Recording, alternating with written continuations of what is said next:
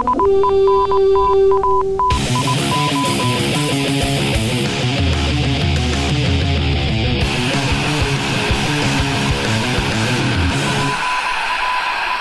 Welcome to Norse Code, the number one podcast for your Minnesota Vikings. I am your host and producer. My name is James Pagashnik. Thank you so much for listening. And on the other end of the tin can and string, we have our analyst and co host. He writes for the Daily Norseman along with other blogs around the internet.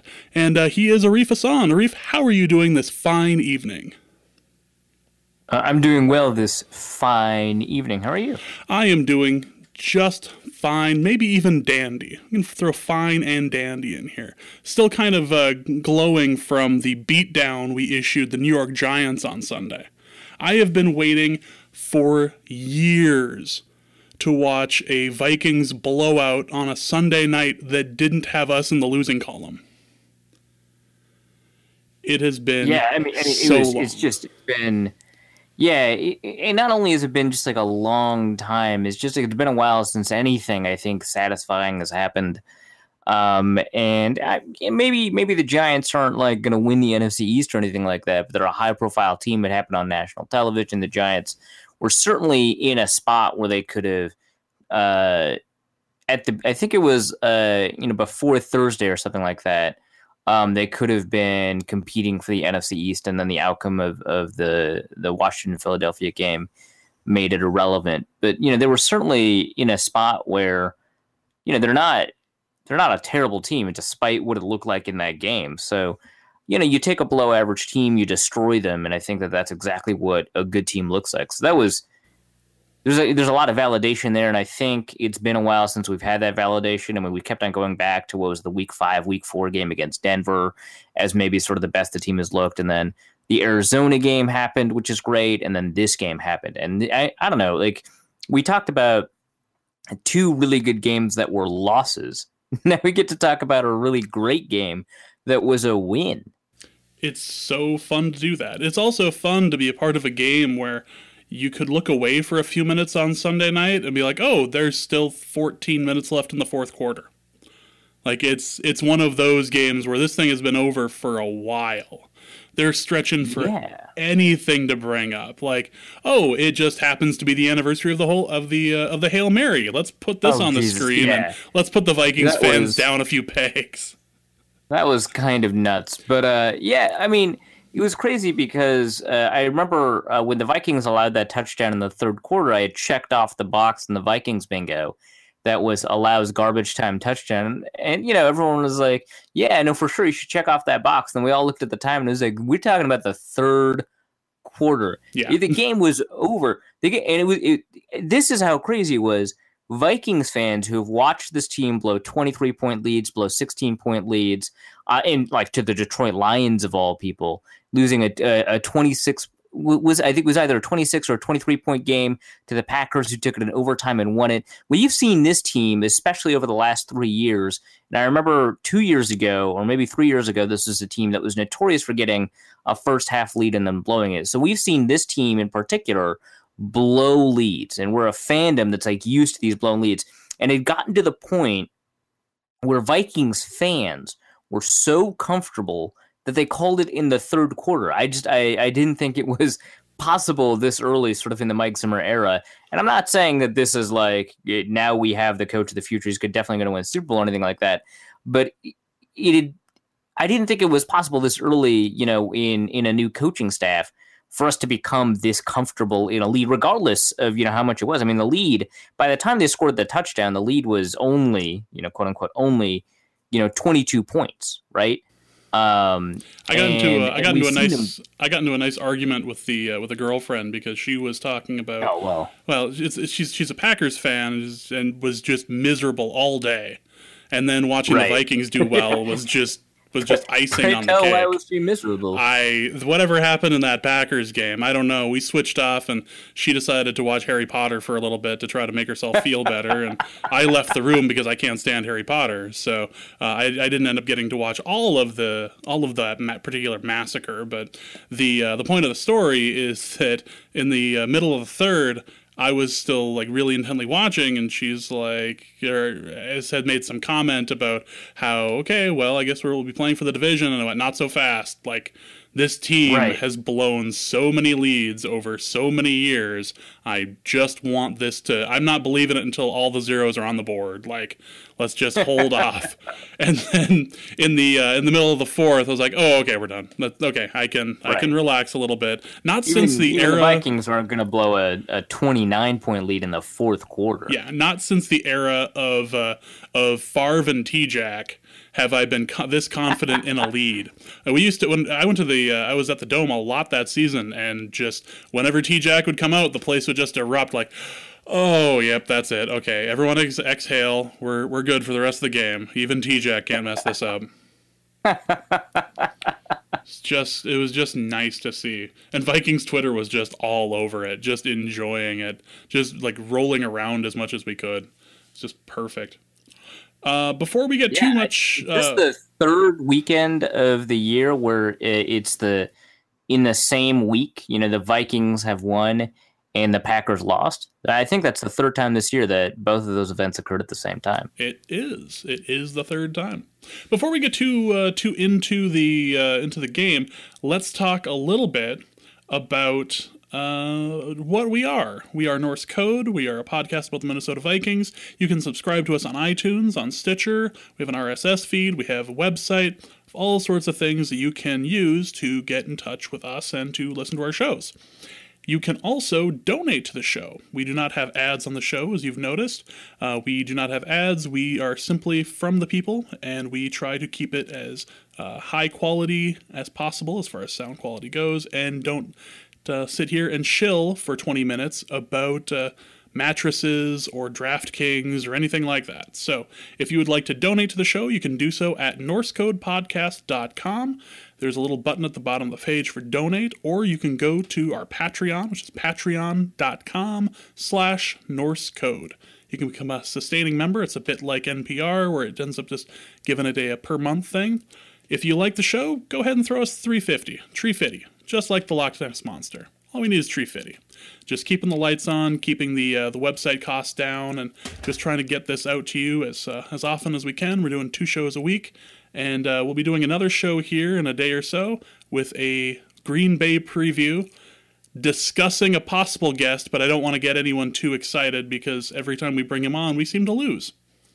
It has nothing to do with Aaron Rodgers, right? Like it has everything to do with justice.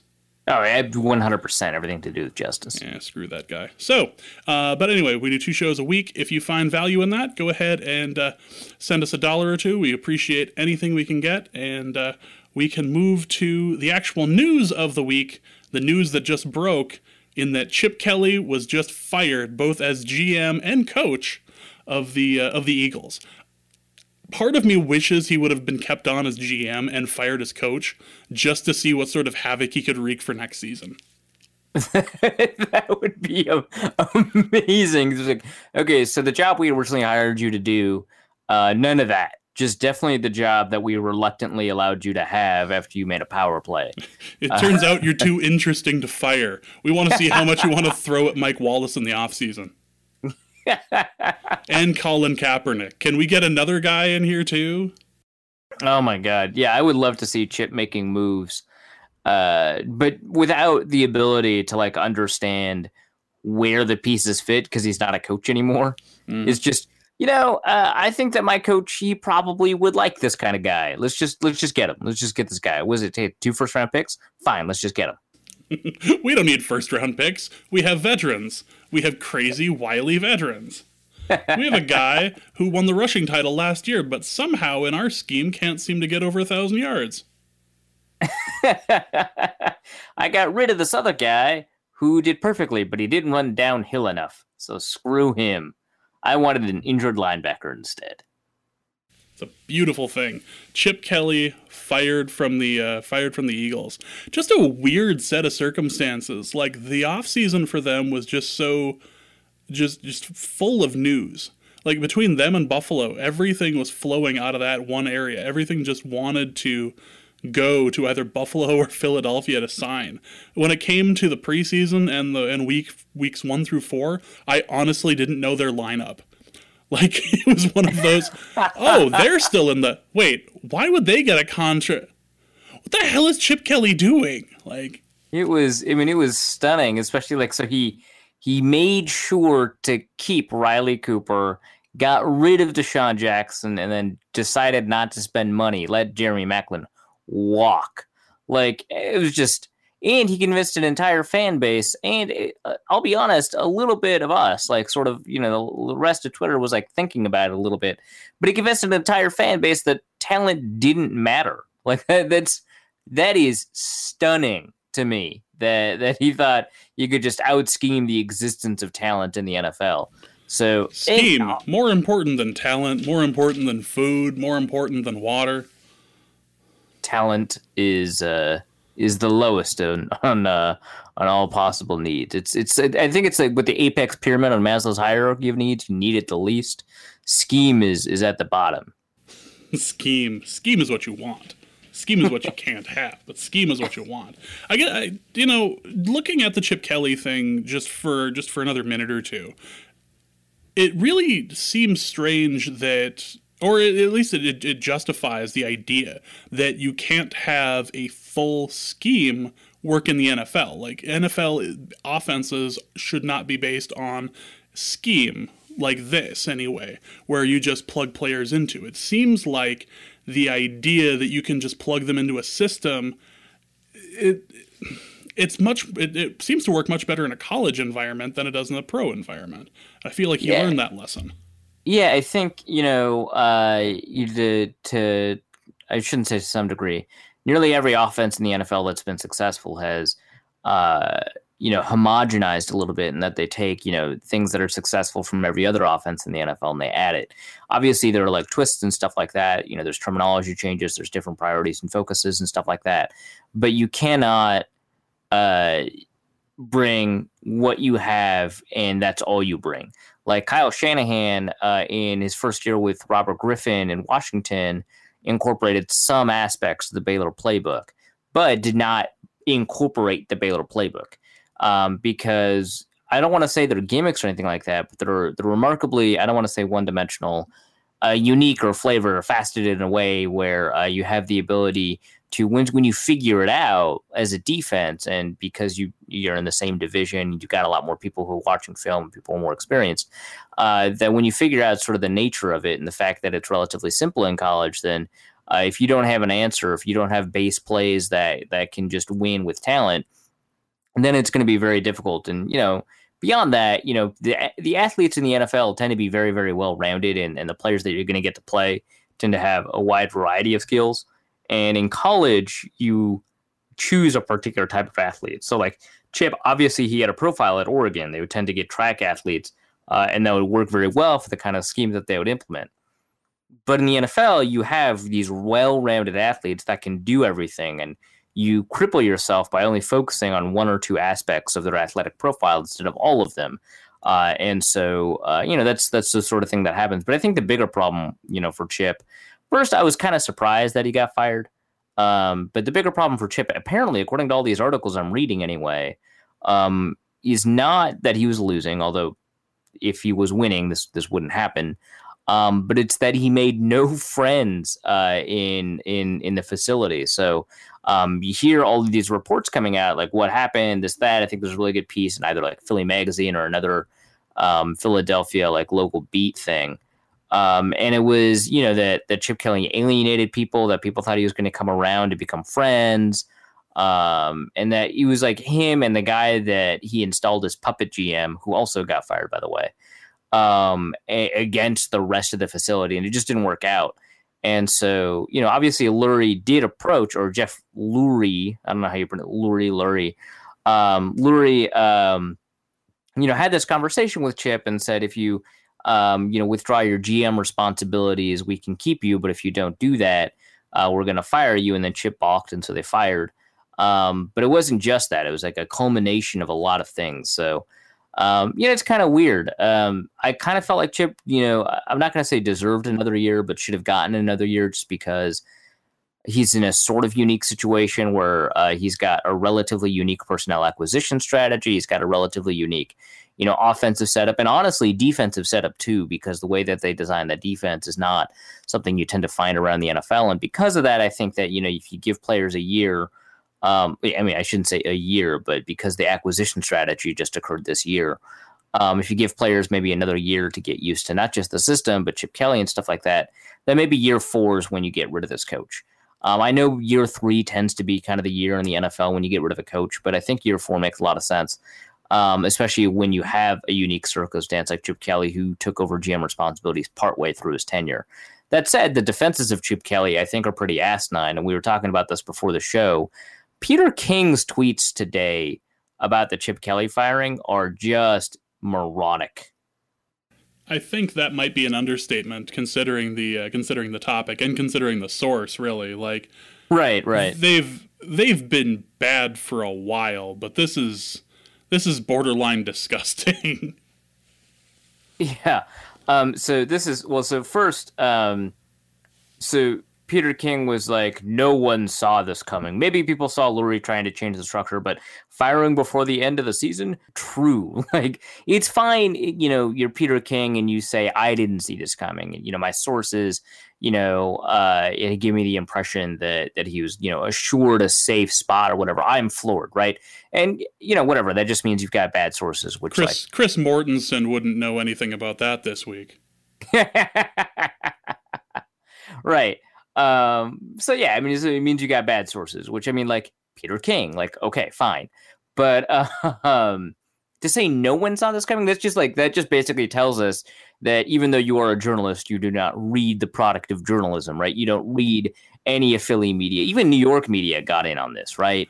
Like mean, every every podcast I've listened to over the past four months of the season has mentioned in some way how Chip Kelly is going to be has to be fired by the end of the year, or is more entertain or the league is more entertaining with him in it, but there's no way he lasts this year. Like right, no, there were there were people who were definitely more certain that he was going than people that he the that were definitely certain he was staying. So to say it was like an unforeseeable outcome, like that's just stunning to me.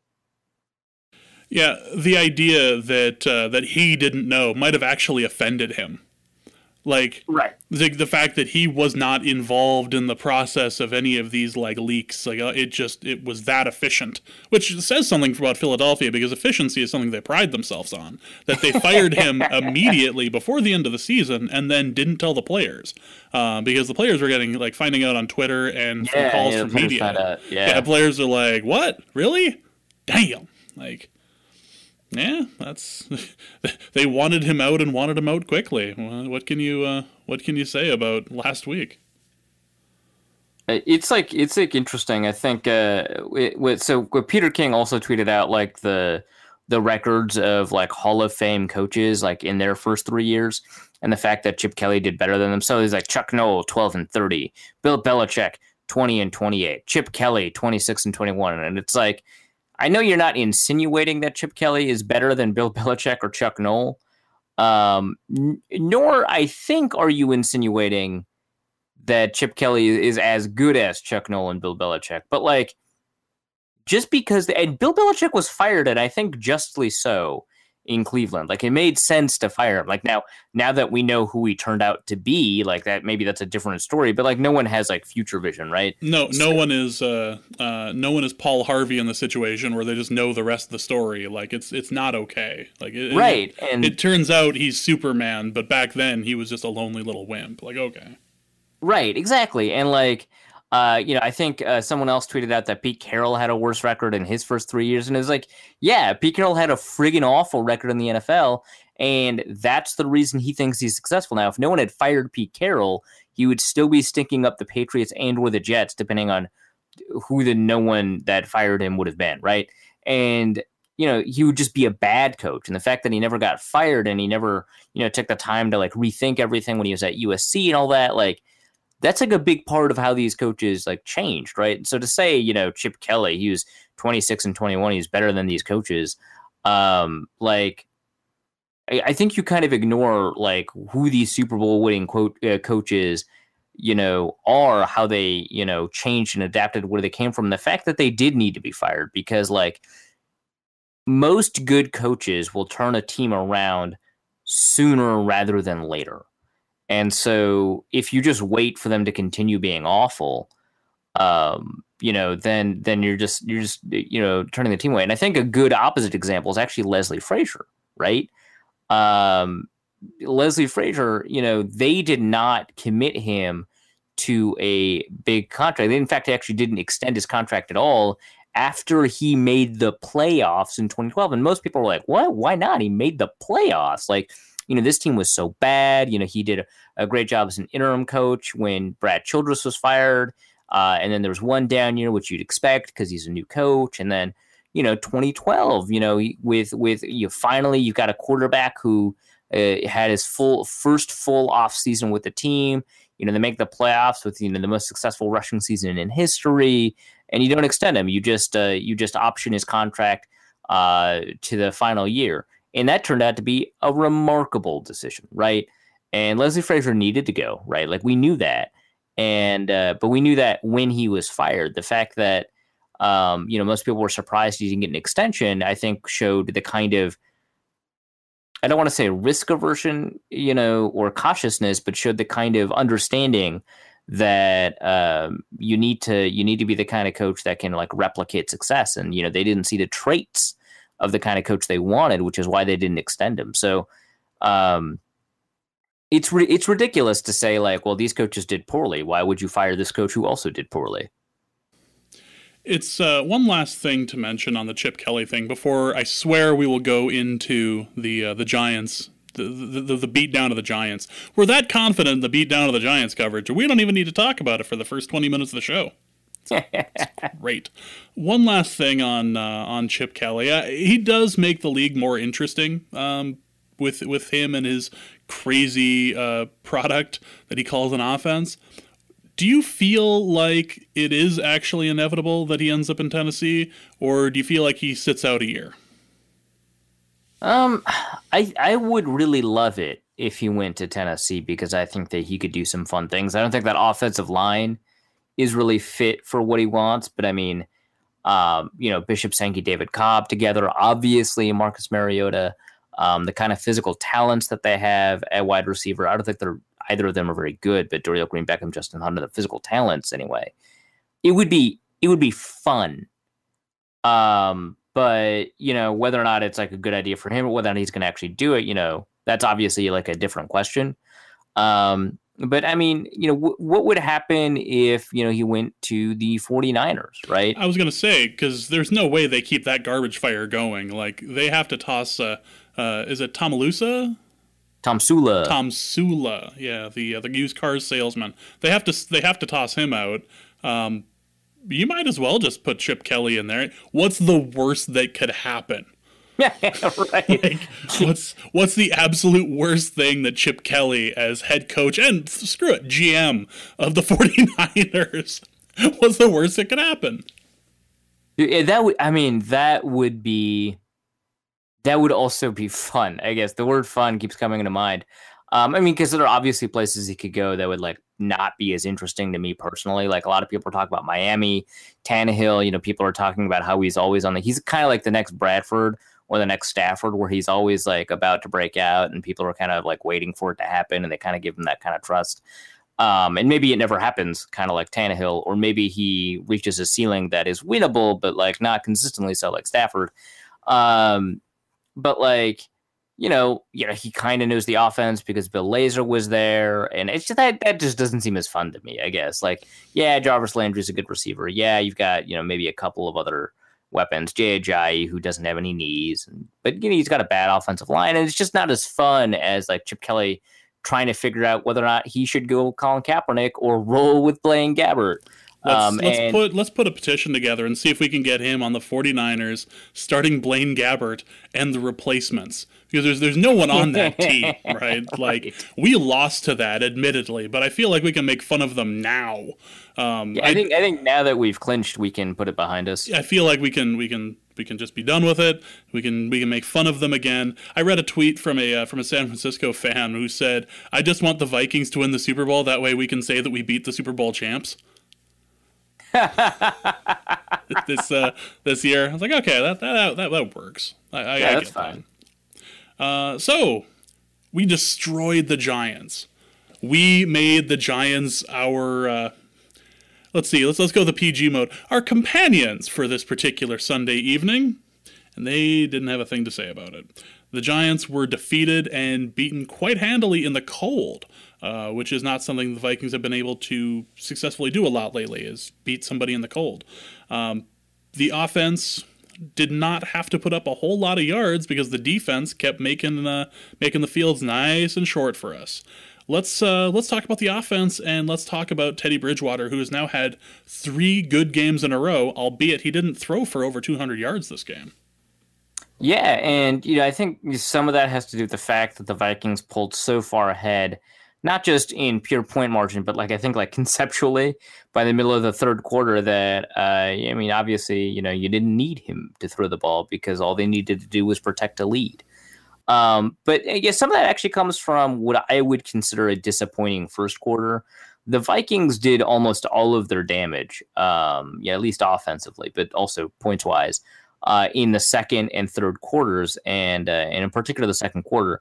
Teddy actually started out, I thought, pretty slow, and honestly, I thought kind of everybody started out slow, and they all kind of got into the groove of the game at different points throughout the game. Um, but on offense, I would say that Teddy started off the game pretty poorly. You know, I think that you know the the third and eight that was short of the sticks. I think he threw it to Thielen.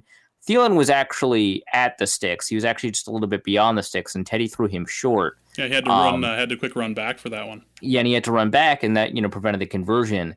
And I understand it kind of. Um, I, I think it was. I think it was a mistake by Teddy, uh, and by mistake I mean unintentional. I don't think he you know made the decision to to throw it short. I think it was just like his accuracy was off or whatever. Um, but you know, even if it wasn't, I can understand it because that's where Thielen was more open. He couldn't throw him outside because we're, uh, you know, the defense back would have got it. But um, you know, th- there's that, and then he also made a couple of wrong reads. One in particular, I think that he checked down to Adrian on second and five. Uh, I think in his second drive uh, in the first quarter, and and Rudy was open, you know, in the seam. I mean, it was perfect. I mean, there was a safety up top, but safety was too far away, and it, it could have been great.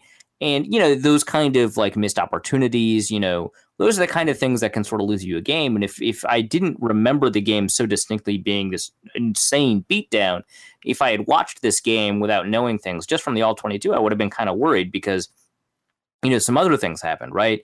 You know, Fusco gave up pressure really early. You know, there was there's there was a hit and there was a sack, I think, from him. Harris played pretty poorly in the beginning. Clemmings played pretty poorly in the beginning, and um, you- they all kind of they all kind of gelled eventually, and they, it didn't happen at the same time. Fusco took some time to get it together, a little bit longer than than Harris did, and Clemmings, you know, I'm not going to say you know he was great or anything, but it took him a little bit longer than the two of them to to get it together. And Teddy kind of figured it out. And I'm not going to say those things are related because Teddy was doing poorly in clean pockets and he was making bad decisions. But uh, as he moved on, even in dirty pockets, he did really well. You know, his two throws to Rudolph were, I mean, they were just beautiful, right? I mean, Especially that, that gorgeous. gorgeous touchdown uh, throw where he just threaded the needle through uh, through the defenders. Like he's getting more and more of those. Yeah, and he did uh, virtually everything correct on it too. He he did like he did veteran stuff on that kind of throw. I mean, he looked off the safety, forced the safety to to to move with his eyes, uh, and then knowing that Rudy was open, you know, through to threw to to Kyle Rudolph late. Um, you know, perfect ball placement, perfect accuracy. Uh, you know, he had the he had great arm strength on the throw. The safety was too out of the position because of his eyes. You know, his mechanics were you know not amazing or anything like that, but they were really good. Uh, his timing was perfect. I mean, it was it was just it was just the kind of thing that you want to see from a quarterback. Um, you know, not even at Teddy's caliber, above Teddy's caliber. And you know, his second throw to to Rudolph was just kind of if if this first throw to Rudolph was like you know Tom Brady in like 2006 2007 uh you know Teddy's second throw was was like you know Ben Roethlisberger in 2005 to Rudolph. Like it was just like everything. There was chaos around him. Uh, you know, Teddy had to like scramble out of the pocket. Uh, this throw, I wouldn't say it was ill advised because it was you know the right ball placement makes him wide open. Um, but this throw was like it's a difficult throw. You have to really trust yourself and be gutsy. And he's running and he throws it right outside of Kyle Rudolph, away from both defenders that are chasing him and uh, and it's perfect. I mean, it's, it's it's it's it leads him into green space, and he and he gets a bunch of extra yards. And so, you know, there was there was some really nice throws in there, and, and he improved throughout the course of the game. So, you know, that was nice to see. And I thought, you know, Bridgewater kept on making good decisions. I think after those first two drives were over, uh, and uh, and it was you know it was really pretty game. One thing that we should probably note is that Bridgewater hasn't thrown a pick since the Seahawks game and he played against the Cardinals, who destroyed Aaron Rodgers. Uh, played against the Bears, who aren't necessarily slouches, but we, we beat the crap out of them anyway. And then the Giants did not have a chance to uh, to throw a pick. Yeah, and it, and it's interesting because you know um, you know we've been talking about the Giants game, and you know the the defense didn't scare us. I we we said you know beforehand like, hey, I don't know what the script is. Like, what does it look like if the Giants win? What's the story? Um, and we were talking about the defense, and we were like, well, the cornerbacks aren't, you know, awful. In fact, some of them can be pretty good. Prince Amukamara is up and down. You know, Dom- Dominique Rodgers-Cromartie has had his moments. He's kind of average or whatever. And it turns out the best cornerback was actually the one we didn't talk about all that much, Trevin Wade, who had a great pass deflection on what I would call a really, really well placed ball from Teddy to Wallace in the end zone. Um, you know, Trevin Wade was the one who deflected it. And, you know, you, you take those three cornerbacks together, you take into account, you know, Landon Collins at safety, you know, they have some issues at the other safety position, but you, t- you take a look at that secondary, it's not a bad secondary. It's everybody else really who's bad. Uh, and so, you know, the fact that, you know, he didn't throw a pick against them or Arizona or Chicago, who, you know, their secondary is a lot better than than people remember. I mean, they've got Kyle Fuller who's doing well. Their safeties are doing a lot better. I think, you know, I think it's Adrian Amos who's who's doing really well for them. Uh, and you know, you you put all those together. The fact that he doesn't throw a pick in those games, I mean, that's I mean, that's nice. I mean, he's not doing Russell Wilson five touchdowns, no picks, right? But he's doing all right. Yeah, something, uh, nothing, uh, nothing we should be complaining about right now. Uh, and also, he's over 3,000 yards. It's the first time since Brett Favre started for us that we have a quarterback who's thrown for 3,000 yards. That's kind of like a god awful statistic, too. Though. I don't care. We, we have somebody over 3,000 yards. We've had Ponder for too long. Yeah, I mean, it's nice that you've got a quarterback who is consistent enough to stay on the field uh, and doesn't throw for like 80 yards in a game like Ponder.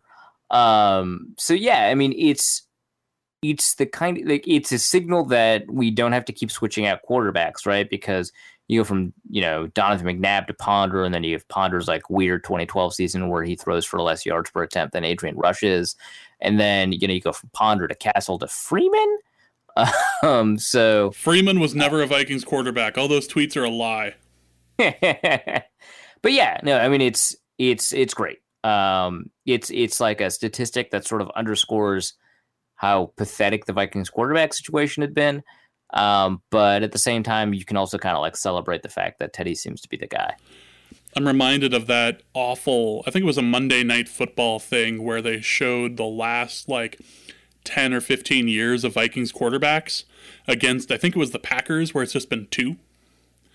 But like, there's that god awful montage where it was like every quarterback, Gus Frerotte, Brett Favre, Donovan McNabb, Christian Pond, like everybody, Joe Webb, like Joe Webb.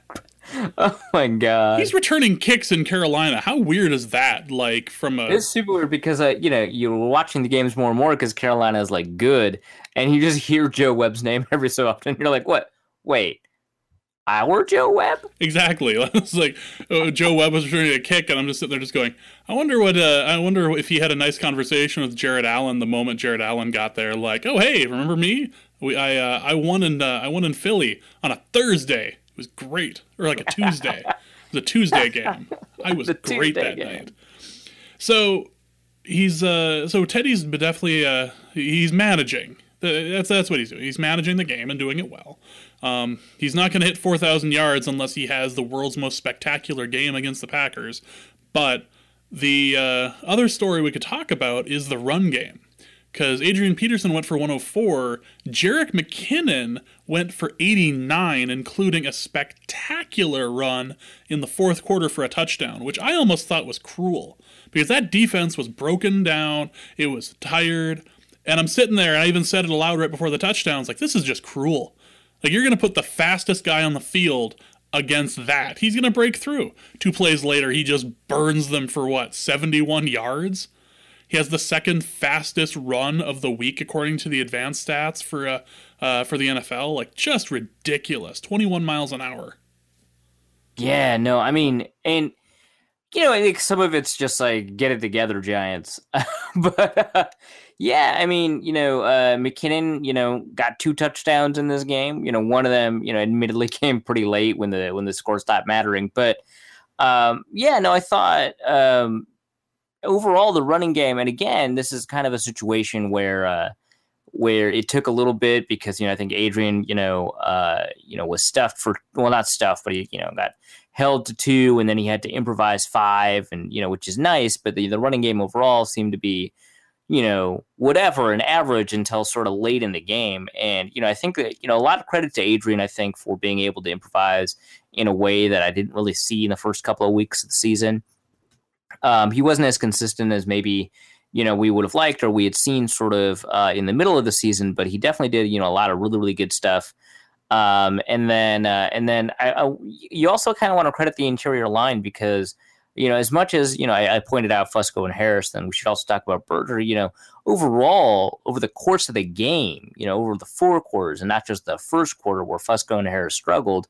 The four quarters, I think, on balance, that all three of the interior linemen had a really good game, especially as run blockers. So uh, there was a lot of additional consistency that they provided by being able to open up holes up the middle that Adrian was able to take advantage of. You know, I thought Adrian he looked zippy. You know, he looked he had a lot of acceleration. He looked really fast in a way that in some of these games this year he didn't quite look like it. Uh, and uh, you know, there's a lot of that. He had, he had a lot of patience. Jerick McKinnon's runs uh, had uh, a phenomenal amount of patience, and he was a very smart runner. Uh, and uh, and, it, and, it's too bad, right, that uh, that they took away sort of the jet sweep touchdown. Um, but you know, overall, I thought the Vikings' run game it kind of improved over time, and a lot of people think that run games improve over the course of the game, but that's not really true all the time, especially because some teams use the same concepts over and over. Uh, and, but in this case, I think it's definitively true that the offensive linemen and the running backs both improved, you know, significantly as the game went on. It was really nice to see. The other thing that we should point out is that Adrian Peterson is in the lead for the rushing title. He is up 64 yards on uh, uh, on uh, what's on Martin on Doug Martin out of out of Tampa Bay, and I was just going through some of the stats for rushing leaders for the past uh, couple years, and other than 2012 where Adrian got 2,097 yards, uh, this is a kind of a weak season for uh, for rushers. You know, the lead rusher right now has 1,400. The average for the last couple of years is somewhere in the you know 17 or 1,800. So it it seems a little right. like it, it's like LeSean McCoy, Jamaal Charles, uh, DeMarco Murray all got 1,800, 1,700, 1,600. Yeah. Peterson got 2,000, and this year, uh, you know, the rushing leader uh, Peterson uh, and you know, some of that has to do with uh, suspensions and injuries, like Le'Veon Bell. Um, you know, Devonta Freeman. Uh, you know, had right. You know, Charles got injured. Devonta Freeman took over late.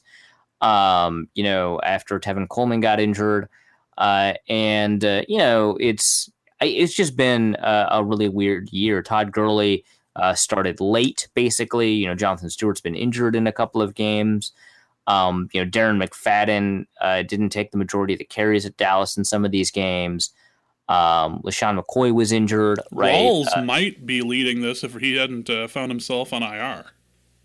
Yeah, you know, Rawls would definitely be sort of in the conversation. He has the most, I think, yards per attempt out of everybody in the conversation. So uh, he would have been he would have been a really good addition. He only started seven of the games, and he'd been in 13 of the games, but in some of those games, he didn't really take too many carries. So, you know, if Marshawn Lynch had been, you know, out all year, or if Rawls had just been able to take, you know, instead of having 150 or so carries, if he had 250 or so carries, you know, maybe his yards per attempt would drop, but he'd probably be leading the league. So, yeah, no, this is definitely a, a year where I would say it's weak uh, in terms of total rushing yards.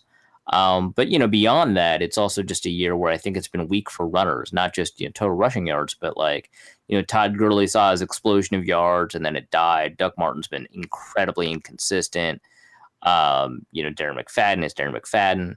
Um, you know, Cam, Jonathan Stewart's. Cam Newton, just, Cam Newton is currently ranked 29th overall in rushing. That is phenomenal, uh, but also kind of scary. yeah, I, I, feel like and Russell Wilson's 37 but like that's that, that's a hell of a uh, that's a hell of a number of, uh, of rushing yards he's got this uh, this season. Yeah, I mean uh, that's part of the reason he's in the conversation for the MVP, right? Yep. Uh, so, what do we think about the offensive line's protection this particular game? You know, he was rushed.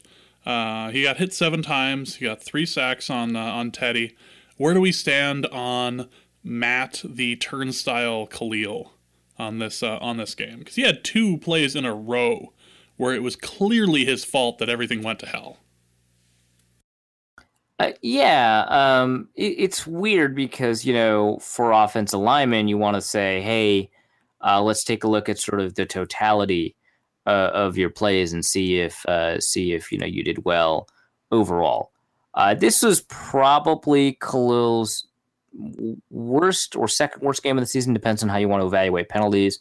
Um, you know, he gave up a sack. He gave us some pretty bad pressures. Um, and uh, and they happened in quick succession. They happened. I don't want to say all relatively early, but I think one thing that's also missed in this game is you know he he also had that penalty, um, but also he was actually just not a very good run blocker either.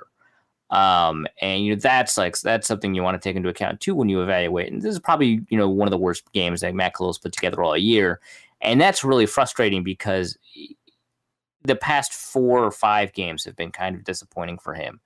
Um, after we've been talking up his season all year, you know, to see it kind of maybe diminish a little bit as a result of of whatever, whatever. Maybe he has an injury, it, it happened again. Maybe he lost motivation. Maybe he's lost technique or whatever. Or maybe he's whatever been listening to the show and is thinking, "Oh, I'll show them. I'll suck like I've never sucked before."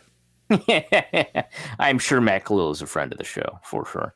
Um, no, yeah, and you know it, it, that's kind of annoying. He was probably the only offensive lineman I would say was definitively bad. Like even TJ Clemmings had some some pretty good moments in the run game.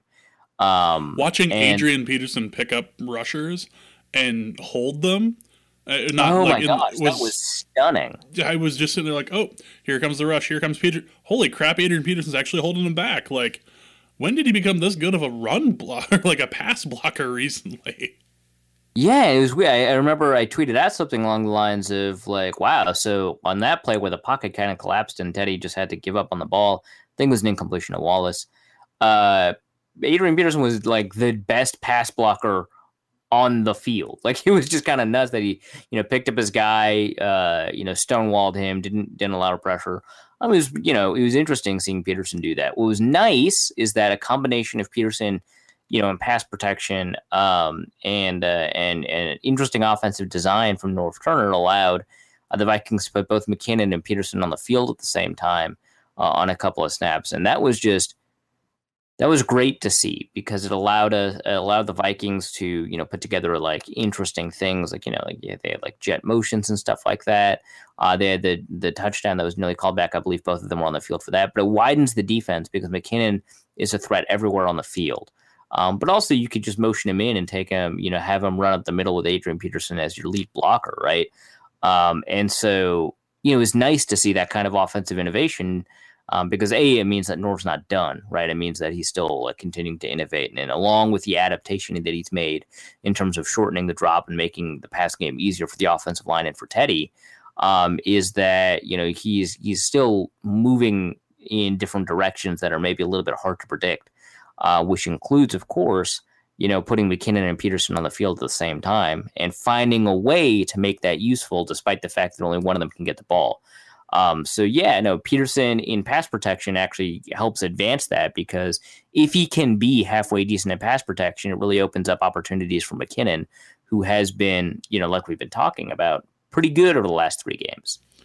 If we still did the number of the week, even Dusty couldn't screw this number of the week up. 3,991, which is the number of snaps that Matt Kalil played in a row.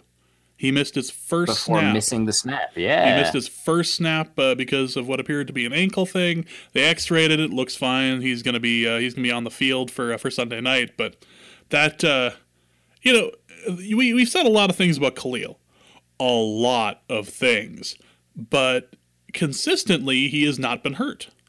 He uh, this offseason had surgery on both of his knees just to like clean up, uh, just to clean up a little bit. But otherwise, it's been he's been really consistent uh, showing up. He might have Yeah, been an open maybe- door some yeah. games, but Right. No, and, and it's it's fantastic that that he has you know the talent of availability because that's something that's you know sorely lacking uh, for the Vikings offensive line in general, but like among offensive linemen because it's such a physically demanding job. I'm wondering if maybe because he played through some injuries that maybe that was to the detriment of the team, but you have to think about like who would step up in his case and uh, you know in in this game it was Austin Shepherd, but in like previous games, like in 2013 or you know in 2012, um, or yeah, maybe it was it was 2013 or 2014, I should say. Um, you know when Matt Kalil was playing, you know maybe subpar. If some of that is because of injury, like maybe it would have been better if someone stepped up. Wait, that someone would have been J'Marcus Webb, maybe not. Um, so it was probably a net good thing that that he chose to hide his injury in terms of on-field play. Um, maybe it contributed to a slower recovery time for him, which makes it a net bad thing. Um, but certainly, you kind of have to respect it. If nothing else, you just have to respect uh, his ability to play through getting hurt, his ability to stay on the field, his ability to avoid injury. All of those things are things that are good qualities. And, um, you know, in light of the fact that he missed like seven snaps, um, you know, the first of any of the snaps that he missed in his career with the Vikings, uh, we should probably, you know, point out like, hey, you know, this is something that he's been doing better than literally all of the other offensive linemen. yeah. So good on you. Uh, that's a hell of a streak, and it's certainly something to be respected. Let's talk about the uh, let's talk about the defense against Eli Manning, who showed up.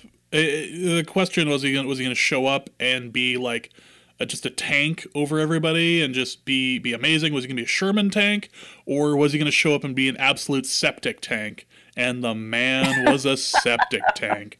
Oh my god! Um, so much so that uh, I believe Eric in his uh, in his stock uh, tr- in his uh, stock uh, up and down uh, blue chips was it uh, his his article? Yeah, the he ended up listing he ended up listing Eli as an asset to the Vikings. Yeah, uh, he was a. He may have been a blue chip stock, I think, too. Yeah. And we were we were talking before the show about how bad Eli is against the Vikings because he, he just has this hero just just this this just horrible history against us. And it's not just the Vikings that he's bad against. yeah, his history, uh, you know, is is so volatile that he'll have some unique, uh, you know, single team records uh, that'll show up, and and it turns out that it's not even the the Vikings aren't even the worst, right? Um, so I looked it up. So every team that he's played against, um, we looked at the bottom five, and so the Vikings, uh, in terms of passer rating, are actually the third uh, worst opponent for Eli Manning to face. So you know he has a fifty four point eight career passer rating against the Vikings. That's you know obviously that's stunningly bad, right? That's a five to fourteen, uh, you know, touchdown to interception ratio, which you know that means that's that's fourteen interceptions, right? Like that's that's incredibly bad, uh, and that includes obviously the Monday night game uh, with a quarterback who shall not be named, uh, helping the Vikings out in whatever way that he felt possible. You know, Eli also played that game, you know, pretty horribly, which you know uh, accounts for some of that. But you know, that includes you know a fifty-four point eight completion rate, but you know, none of that um, overpowered Eli Manning's terrible, terrible record against both the Baltimore Ravens and the Chicago Bears. Against the Ravens, he had a 51.0 passer rating, and against the Bears, he had a 40, 54.6 passer rating, just 0.2 decimal points below the Vikings. So um, he's had some pretty bad games against some teams in a row, and he's the kind of inconsistency that that he sports. Um, you know, leads to this weird distribution where he has really bad games against some teams. And the Vikings, one of those teams, he's three five in those games. So the uh, the first thing we should talk about is Harrison Smith and his uh, and his pick six.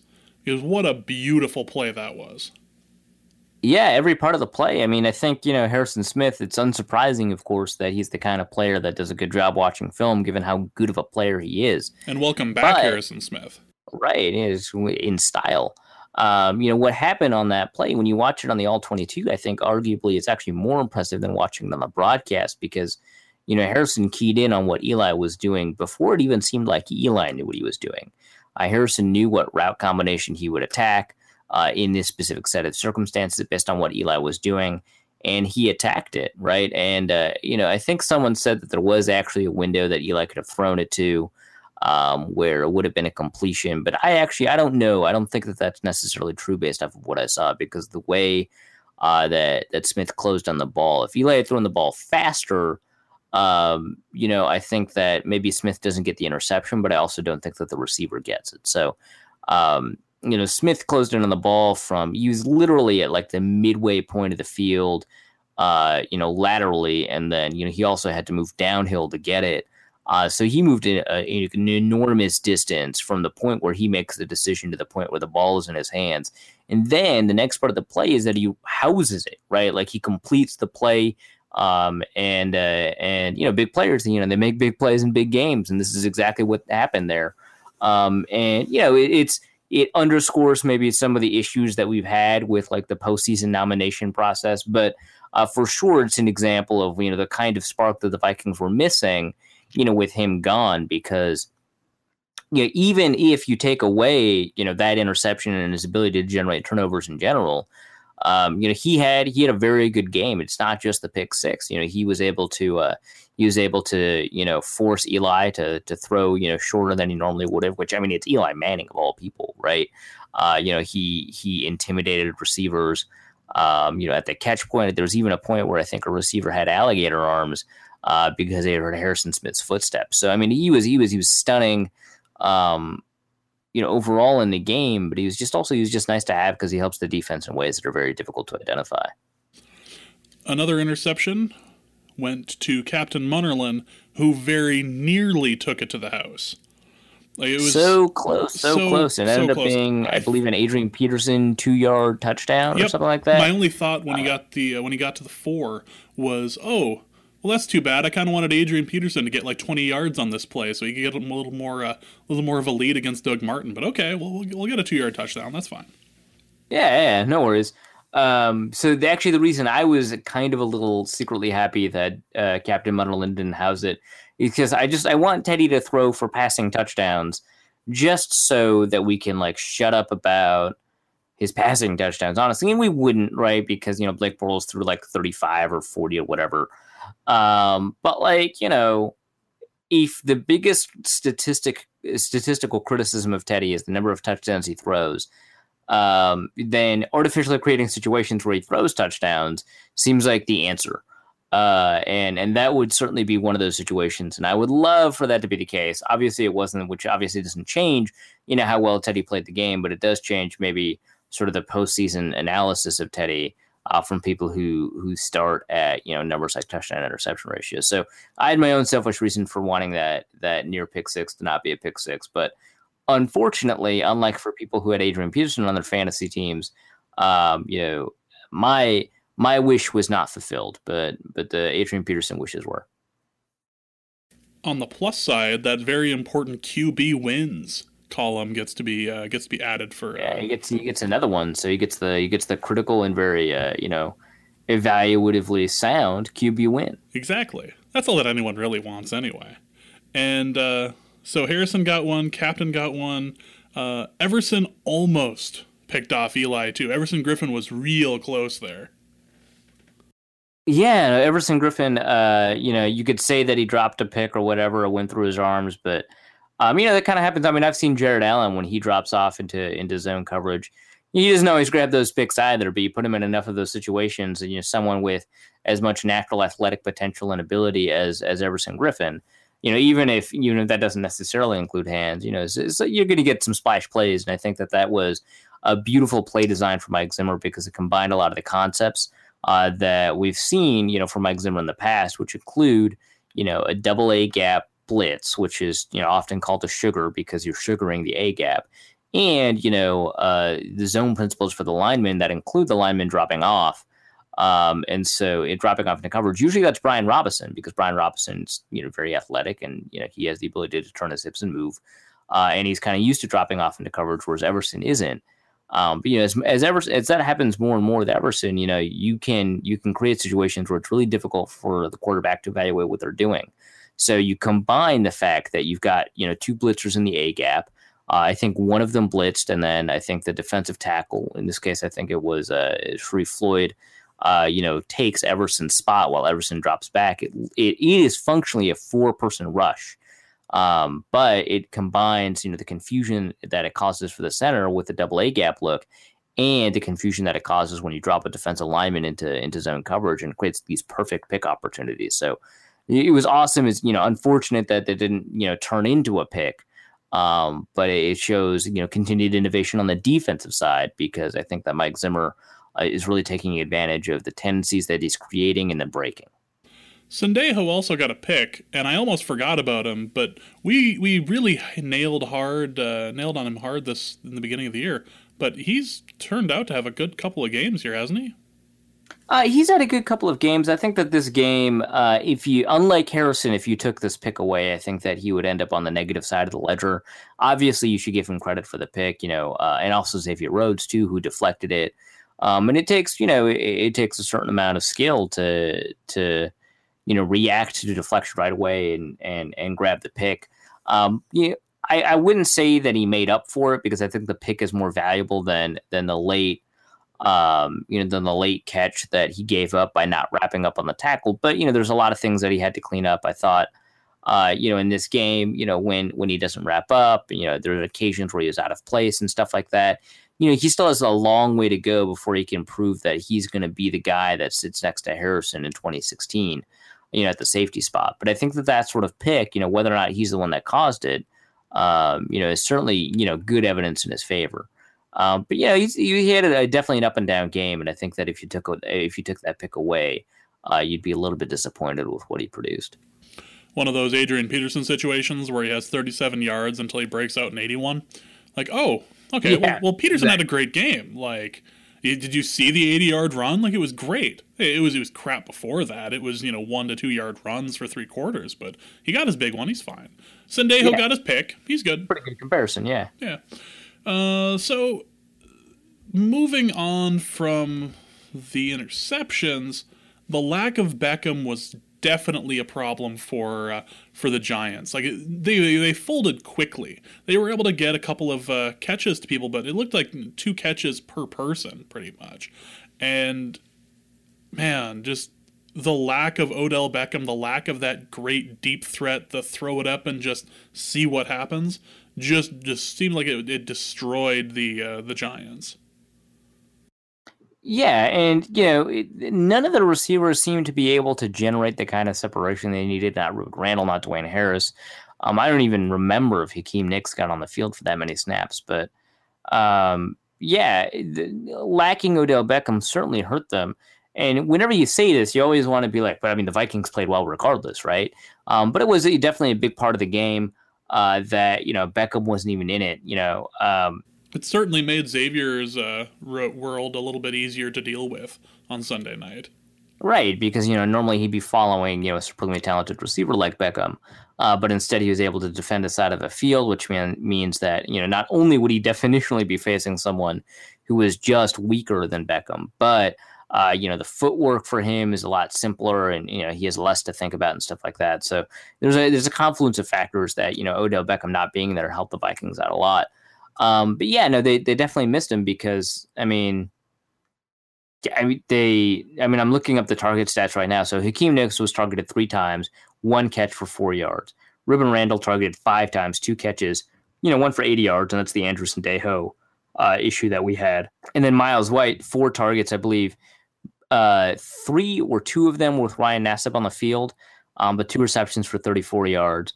Will Tye, three receptions for four yards for 28 yards, uh, three three receptions on four targets for 28 yards.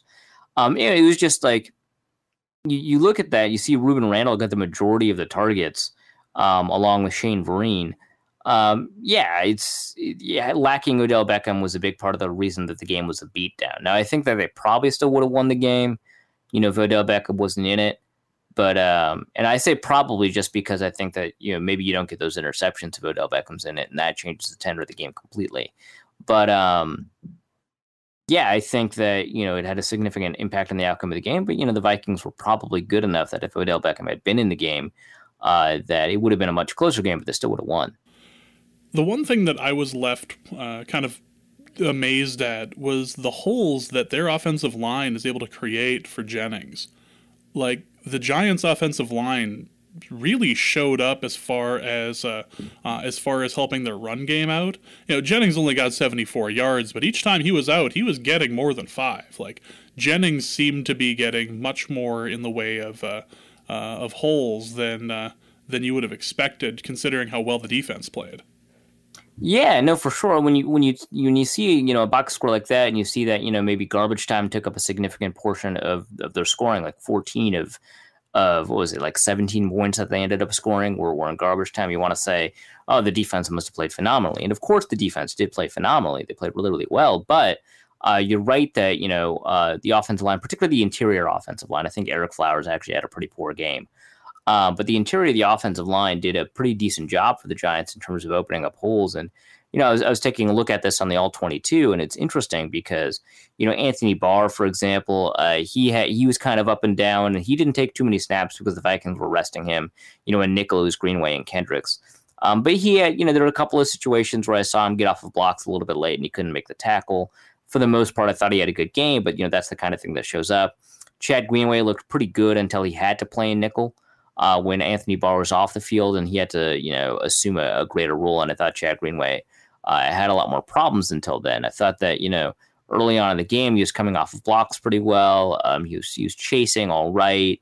Um, he was getting to the hole quickly enough, and then he just kind of dropped off. And he was, you know, people were able to lock him up, eh, you know, when they were blocking him and stuff like that. Eric Kendricks was really up and down.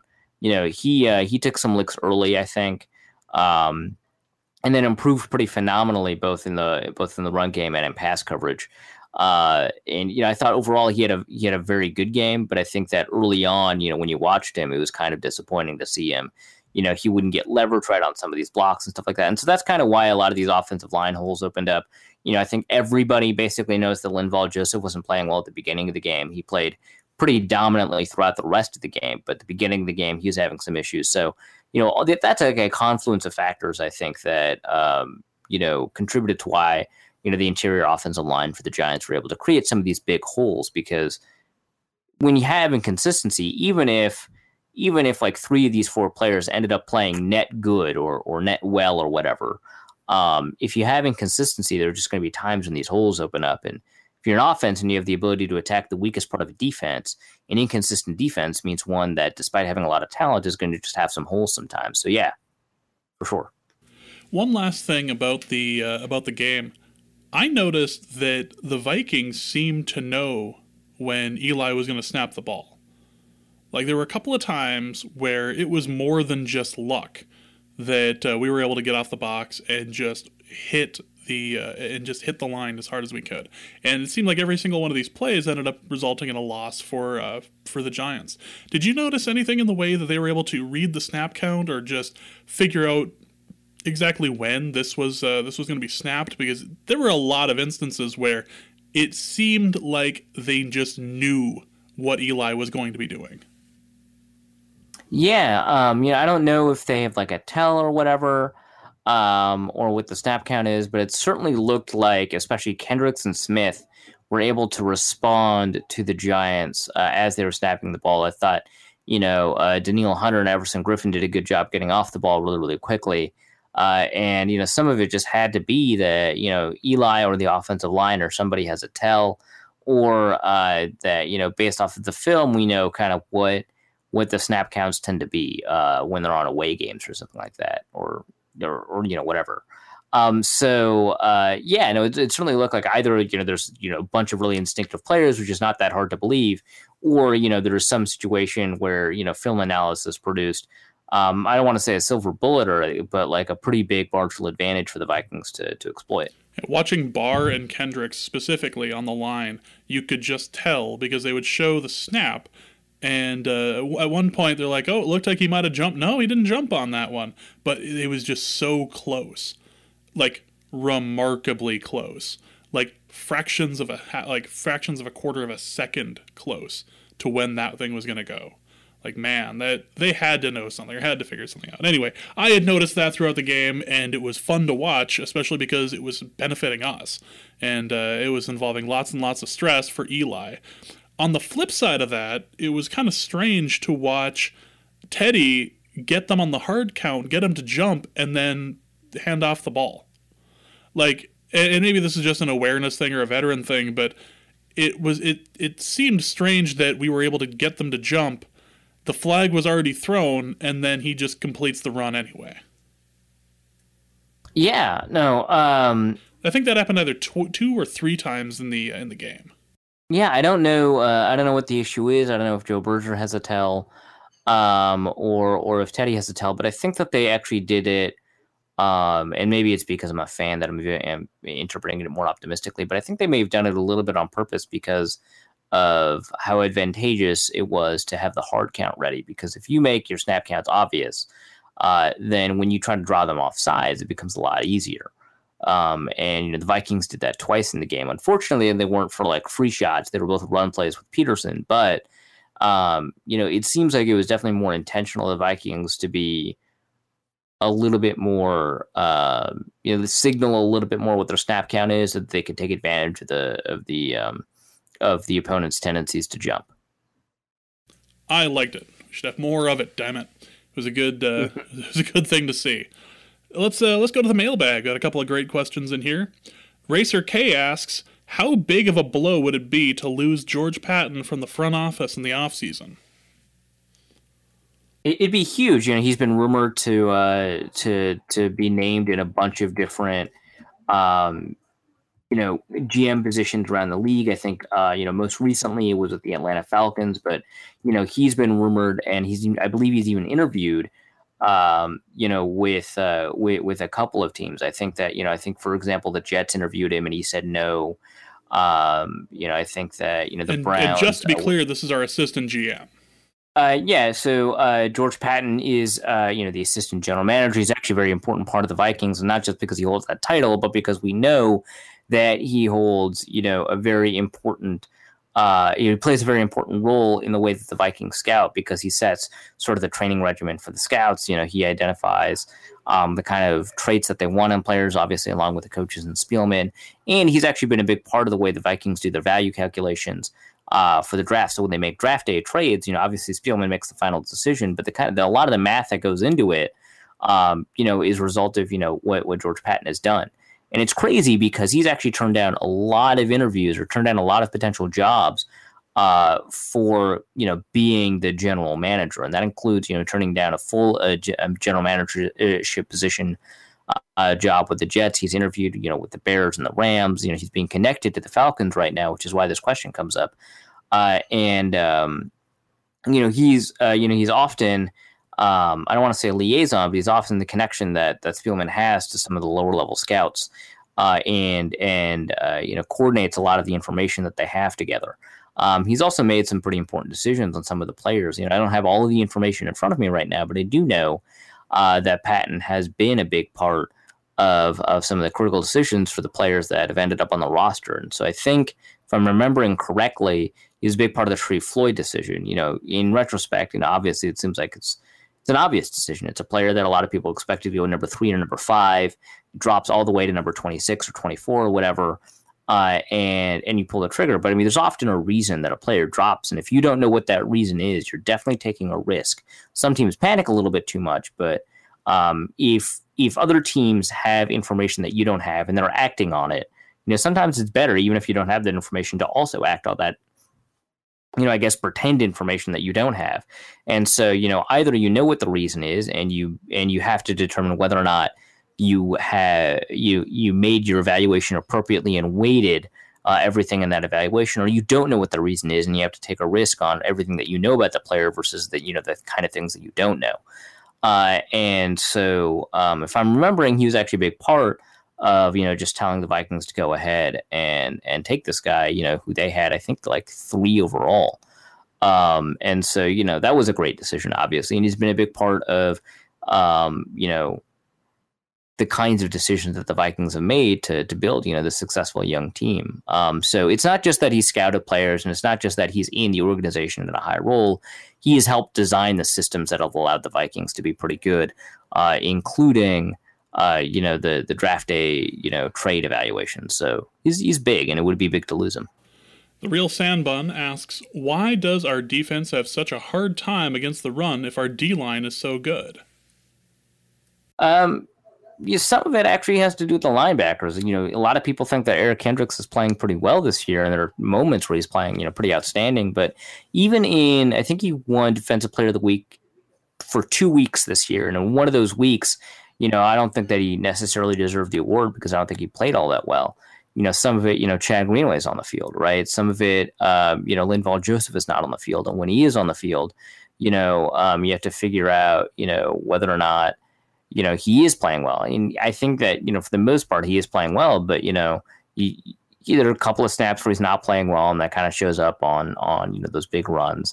Um, Anthony Barr, you know, he's a phenomenal linebacker, but there are times where he's just going to make mistakes. Sharrif Floyd has been pretty up and down this year. Tom Johnson, you know, he started off the year pretty poorly. So there are just times, right, where uh, where even though the defensive line is very good, uh, you know, the, these collapses in run defense are going to happen. I think Everson Griffen overall is a very, very good run defender. I thought he had two really bad games uh, in run defense this year. Uh, other than that, I think that um, uh, you know Brian Robison has been very up and down in terms of run defense, and you know sometimes that happens too. But I think that the majority of the problem uh, actually has to do with the linebackers, um, because as as much as I think the linebacker play is trending up this year, uh, I think that um, you know Chad Greenway's been a problem. Eric Kendricks has been very up and down, and that Anthony Barr's had some misses. And uh, we have two questions from Charismatic on Twitter, who asks: Is uh, Danielle Hunter an Aldon Smith clone? With Barr like talent and size, can he transition into an outside linebacker slash defensive end hybrid? It's a good question. Yeah, for sure. Um, I think that uh, I understand where it's coming from because Aldon Smith is extremely athletic. He's long. Um, and you know, I wouldn't necessarily like disagree with somebody who made this comparison, but it's maybe not the best comparison or one that I would go to. Um, you know, coming out of of Mizzou, Aldon Smith was not a very good run defender because Mizzou does not ask their uh, you know ask their defensive ends um, to you know contain the run uh, at all. Actually, it's it's one of the things of the system is that they just ask their defensive ends to rush, rush, rush. Um, he wasn't, you know, very bulky and uh, and he didn't anchor very well, uh, and his burst was surprisingly meh for a player that's known to be as athletic and as long as him. Uh, and that you know that's when that, that's when he was coming out. But I think that he was uh, he had better hands. He was much more gifted as a as as a, as a player who was a technician. Um, you know, he uh, you know he was disruptive against the run when when the plays were running right to him, but for the most part, you know, he got by on great athleticism, but also you know fluidity and uh, and and hand technique that I think is kind of under that was kind of underrated for him coming out, uh, as well as just violent hands in general. Danielle Hunter was asked to stop the run first and then rush the pass, which is why a lot of his sack totals were down uh, at LSU. And as a result, he actually became a very, very smart defender. And I wouldn't say that Aldon Smith was either smart or dumb as a defender. Obviously, he's kind of dumb in terms of his personal life, um, but smart or dumb um, as a defender when it came to the run because he was just as wasn't asked to, but he didn't develop that kind of awareness that that Danielle Hunter did. Danielle Hunter was really, really smart in terms of being able to read the play coming out of LSU, but he's super raw technically, very athletic, probably more. Actually, I actually more athletic. I shouldn't say probably, definitively more athletic than Aldon Smith. Super raw, and um, you know, uh, he just needed a lot of work before he could, you know, rush the passer. But he was he was very intelligent in terms of knowing where he needed to be, and he had great instincts. So I would maybe compare him more to like an Ezekiel Ansah, super raw, really smart, uh, and and bulky enough to do whatever. He could probably be kind of like an outside linebacker in a lot of schemes, but I think that he actually is just best fit as this four three defensive end. So to answer your question, you know, not a bad comp, but I think that I think that the you know the the Ezekiel Ansah comp is better. That's that's that's quite the hot take you have on Aldon Smith's personal life. I don't know if people are going to be uh, able to get past that and listen to the rest of the episode. How dare you talk about Aldon Smith and calling him and calling him a moron in his personal life? Yeah, I've impugned the good name of Norse code. You have. It, I, I didn't know it was good. I well, I, I, know it wasn't good, but that's that's just sad. Uh, next question from Charismatic is: When Sully and Loadholt come back, does it make sense to switch Harris and Fusco sides? Uh, yes, but I mean, it's like, what if Harris is also only good on the right side? Um, it's you know, I, I don't want to say you're playing with fire because now you you know for sure that Fusco is probably bad on the left again. You know, maybe there's an injury concern. Uh, maybe he's, you know, uh, tight when he's moving to his right. Maybe he's a little bit looser when he's moving to his left or whatever, or vice versa. Um, but um, yes, but uh, you know, expect maybe a potentially similar drop off for Mike Harris. But the thing is, we don't know if Mike Harris drops off if he moves to the left we do know that Fusco probably drops off when he stays on the right. So you're trading um, a certain improvement for an uncertain, um, you know, lack of improvement or decline. Um, so which I think is a trade you want to make, but like is also like maybe you have the same problems. Who knows? So like it wouldn't necessarily fix anything. It's something I would consider. Um, if Fusco's injured, then no, because like, I mean, if you have a spot figured out, just like don't screw with it. Um, Does this but, turn into know, one of those known knowns and unknown unknowns situations? I, yes, but I was gonna try to avoid saying it because we've used that a couple of times in the podcast. Just wanted like, to make the, sure. The phrase kept popping up in my head, and I was like, "No, bad, go away." But that's what it is. Better the devil you know. No, let's okay. Tommy Gunn asks Is the Teddy we saw on Sunday the Teddy of the future, i.e., spreading the ball, low overall numbers, highly efficient, etc.? Well, it's difficult because the Teddy of the future is not going to have Adrian to take the load, uh, which means that he's probably going to be asked to do a lot more, both in terms of uh, total attempts and also in terms of creating like sort of an explosive you know outcome from the offense. But I think that you know spreading the ball is something that he's going to continue to do. I think that he's going to be, you know, continue to be very efficient. I don't know if he's going to continue producing low overall total numbers. Um, you know, I I wouldn't necessarily say that um, you know he's in line for like Philip Rivers type pass attempts or Drew Brees' you know yardage totals. You know, unless the Vikings just want to overwork that arm, and it's just obviously that's not the kind of thing that Mike Zimmer, uh, you know, wants to do. So, in a sense, yeah, Next question is from Iowa Josh. We almost, we started talking about this uh, a little earlier, I think. Do our O line have tells? It seems like some teams read our O line a lot better than others.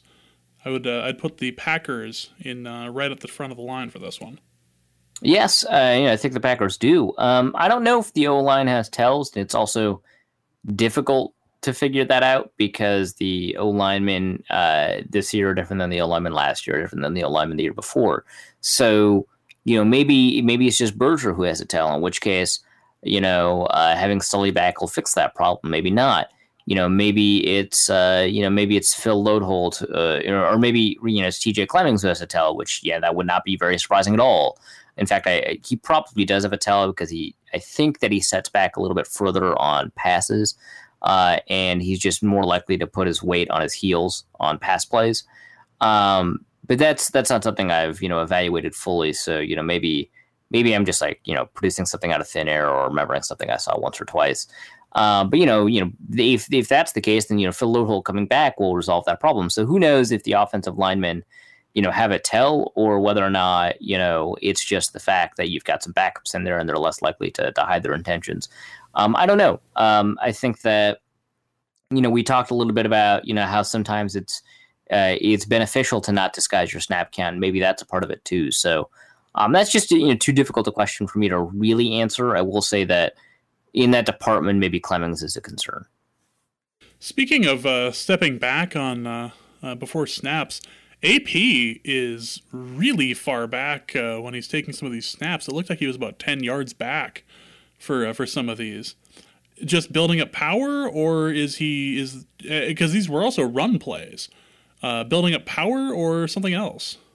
Yeah, um, it's pre- the maximum he's back is probably eight yards from the line of scrimmage, but it certainly looks like he's really far back. I didn't know, I didn't note uh, in this game, you know, how far back he was. So maybe it was ten yards, but the further back a running back is, the more uh, you know the defense is alerted to a run, and that's like something that they put you know, in college defensive playbooks. You know, take a look at how far back the running back is. And I think Matt Bowens even wrote about it a couple of times, um, you know, either for the Bleacher Report or for the National Football Post.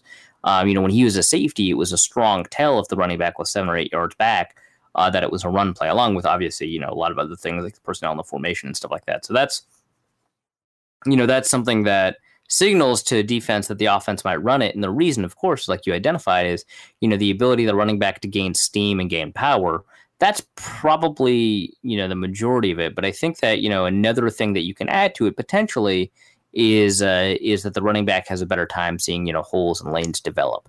Um, so you know that's another thing that you can kind of add to that equation that that artificially gives the running back some patience um, without having without them having to literally be patient. Next question is uh, an interesting one. It's from Matt Nelson, who asks, "Where do we start the petition for Spielman to sign Eric Weddle? Harrison deserves talent next to him." I uh, I pulled up Weddle's contract. Uh, Weddle starts or used to start. He's on IR for the rest of the year uh, for the Chargers. He's a nine-year vet. He's 30, and he is uh, his last pay was seven million five hundred thousand. So I don't know. He had a ten million cap hit this uh, this last this last year. What do we think about potentially bringing him in as a uh, as somebody next to next to Harrison Smith? It is like definitively not a Spielman style move, but you know, hey, if you know you're one player away, you're one player away. Um, and you know, safeties are really difficult for the Vikings to find. It seems like um, I would not expect it to happen. I'd be surprised if it happened, but I would be okay, you know, with a two or three year contract for Eric Weddle. Again, like you said, he's 30. Um, he's lost a lot of, of what what has made him so good.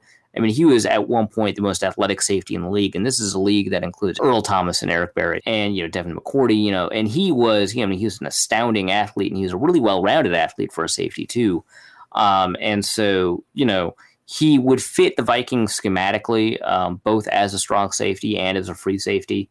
Um, and um, you know, he could do a lot probably for the Vikings, but it just doesn't seem likely. He's old, he's going to be expensive, uh, and the Vikings just really like to go young when it comes to filling in sort of new talent. Obviously, Terrence Newman is kind of an exception, but they did draft a cornerback first overall, so it's not as if um, you know they they didn't attempt to go young first. Um, so you know, I think that uh, or prioritize going young.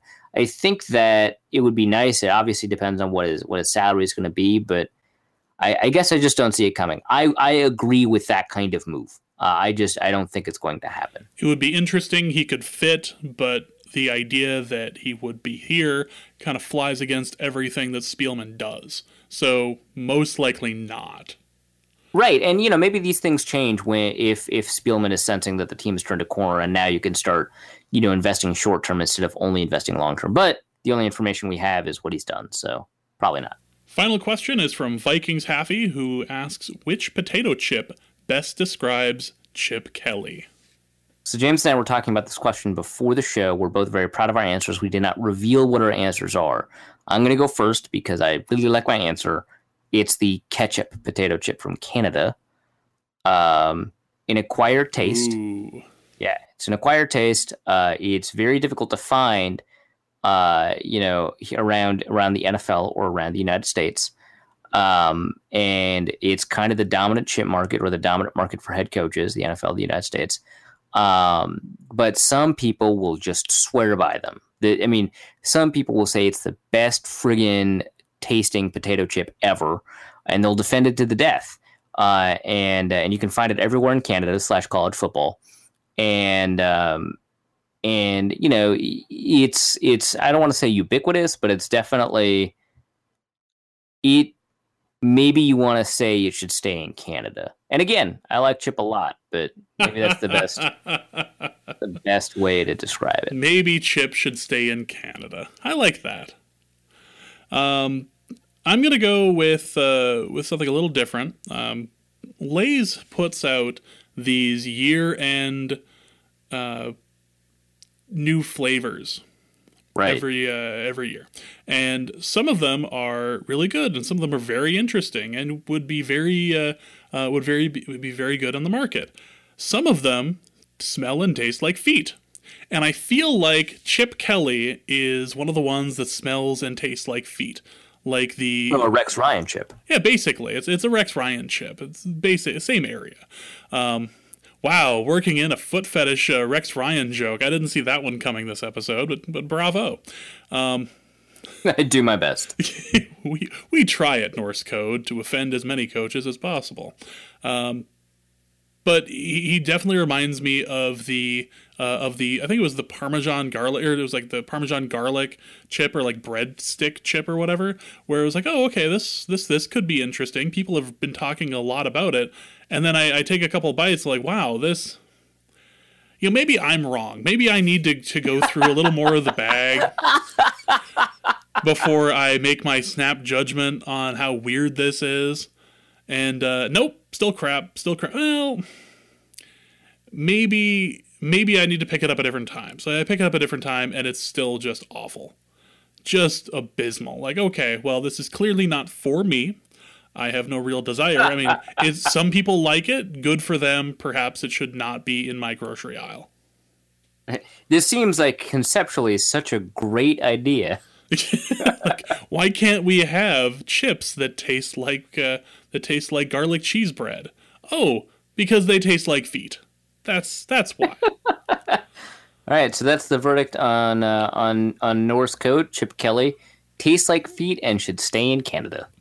that's that's your hot take of the uh, uh, of the whole Chip Kelly firing thing, direct from Norse Code. That is uh, that's going to be it for the show. Anything to plug? Uh, nope, I have no idea what my next article is going to be, but um, we had to look for it, I guess. I was joking uh, on Twitter that we should just hire somebody to to transcribe, like an intern, to uh, to transcribe episodes. That way, we can just have that for you, so you can just plug the uh, plug the analysis from the shows into a uh, into a bi or bi-weekly column. Oh, hey, that would um, suck for an intern, but that would be great. That's free, free content. that- What's that's that? what- Well, it depends on whether or not we're paying the intern, but Well, we, we you never pay an intern. free. You should never pay an intern. Like Gawker, right.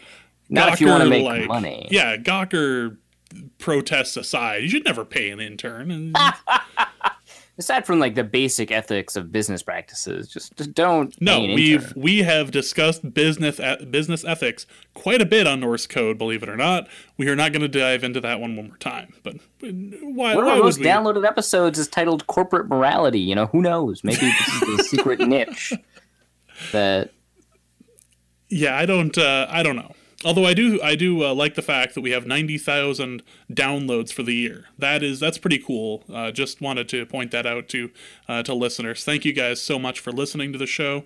Uh, looks like we're going to hit uh, over ninety thousand for the year. Really appreciate it. Really appreciate the support and uh, and donations. You can donate to the show at norsecodepodcast.com slash uh, not even a slash. It's just donate the button at the bottom of the page. You can also go to Norse Code's Patreon at patreon.com slash Norse Code and become a sustaining member. Tree Fitty works just fine if you'd like to, uh, if you'd like to donate to the show to uh, help out if you find value in the show. Please throw us a buck or two. Totally your call. We appreciate it all the same. But uh, I think that's going to be it. We have the Green Bay preview coming up. We'll be releasing that on Thursday. We have all sorts of things to cover there, and uh, we will discuss internally whether or not we should bring on a guest or if we should bring him on for 20 minutes and just yell at him. I feel like we could just publicly shame him and that would be totally fine. I don't think anyone would have any problem with that. Least of all him, actually.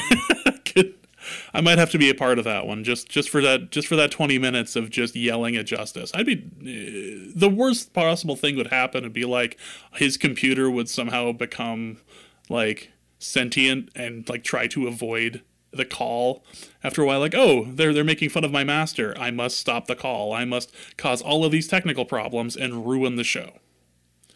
It's the rise of the machines happening through his computer which he will be getting on loan from dusty because dusty's laptop is the original villain in this whole like right movie the fugitive Exactly. But that is going to be it for the show. For Arif, for Dusty, uh, my name is James. You can follow Arif at Arif Hasan NFL. You can follow Dusty O'Connell at Dusty O'Connell. And myself, I am at Big Mono. I also do the Norse Code DN uh, Twitter account. So for all of us, to you, happy holidays. Look to the uh, look for the Green Bay episode. And our formula is this: keep Teddy alive. And we'll see you on Thursday. Norse Code is the official podcast of the Daily Norseman SB Nation blog and is produced with cooperation from Pompous Jerk Productions. Pompous Jerk Productions. Attitude with attitude. The opinions expressed in this podcast are solely those of their contributors and do not reflect official positions of the Minnesota Vikings, SB Nation, the Daily Norseman staff, or PJP. No information in this podcast should be construed as gambling advice. Please obey all local gaming laws. Our formula is this we go out, we hit people in the mouth.